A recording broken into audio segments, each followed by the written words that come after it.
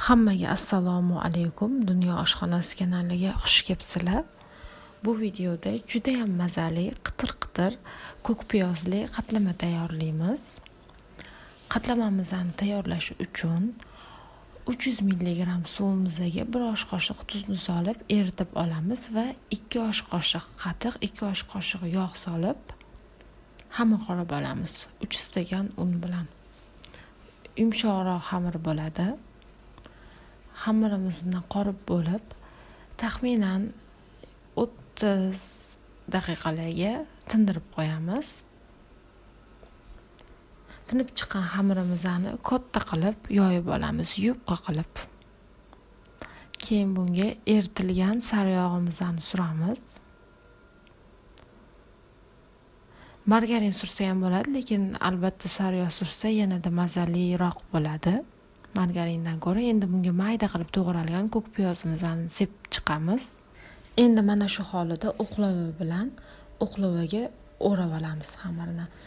Ko'rib turganingdek videoda tortib tortib turib e, xamirni o'rayapman ya'ni e, yanada yupqaroq bo'lib bo'ladi shunda. Mana endi buni xuddi shunaqa ko'rib turganingizdek kesib olamiz. O'qlovadan ajratib xuddi shu xamirimizni uchga bo'lamiz pichoqda mana shu videoda ko'rib turganingizdek qilib dumalaqlab o'rab chiqamiz. Mana shu retseptdan uchta qatlama chiqdi. Buni taxminan o'n o'n besh daqiqa dam oldiramiz. Endi xamirimizni jo yordamida yigirma uchga yigirma uch santimetr qilib yoyib olib yarim cho'mich yog' bilan qovurib olamiz orqa oldini qizartirib o'rta olovda.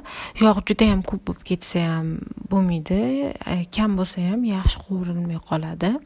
E, mana shu yog'ni me'yorini bilish kerak. E, o'ttiz santimetrga o'ttiz santimetrligida taomni razmeri.